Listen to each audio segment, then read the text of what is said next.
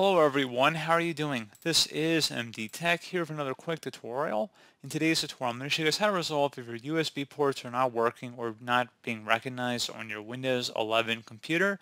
So I imagine this could definitely be a frustrating issue, and in today's tutorial, I'm going to show you guys how to hopefully resolve it without too much of a hassle.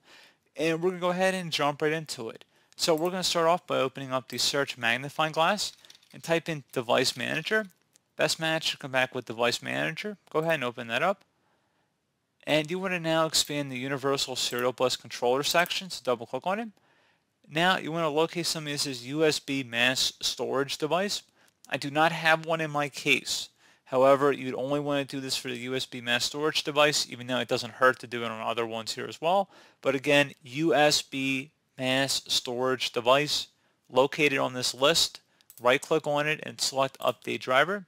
Select search automatically for drivers. And then you can also search for updated drivers on Windows Update as well. And then you could check for updates. You also try going back on it and then same way we did the first time, right click on it, update driver, browse my computer for drivers, and then select, let me pick from a list of available drivers on my computer. And then you can go ahead and select the default one listed. If you have more than one, go with the more specific one. Otherwise, go ahead and select next. And give it a moment here.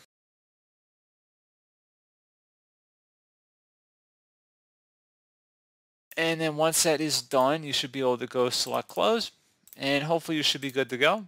Now, I do want to put out another method here and it's going to involve running the hardware and devices troubleshooter. So if you're running Windows 10, you might notice they got rid of that from the troubleshooting utility page in later versions of Windows 10. However, you can still run it from within Windows and I'm going to show you guys how to do that.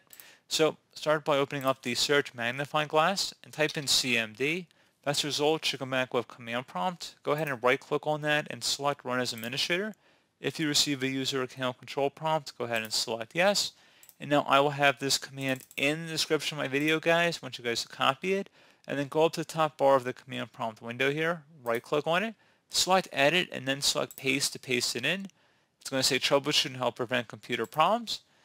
Hardware and devices, find and fix problems with devices and hardware select the Advanced button and make sure it says Apply Repairs automatically.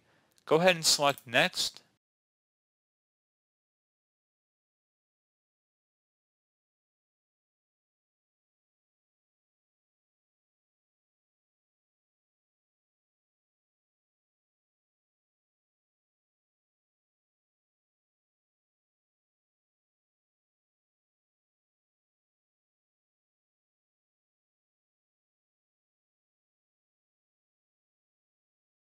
And then if it gives you any suggestions here, I recommend following along with them.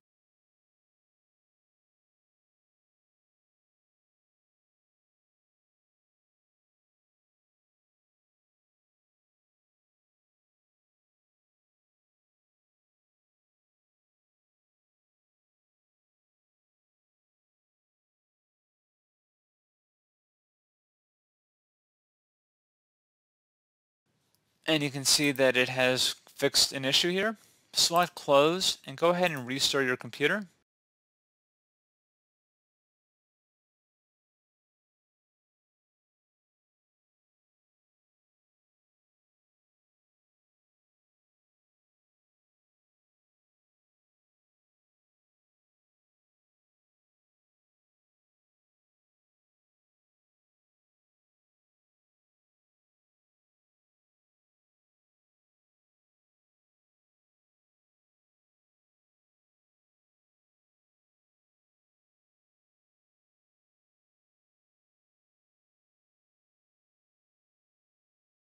And hopefully I was able to resolve your problem.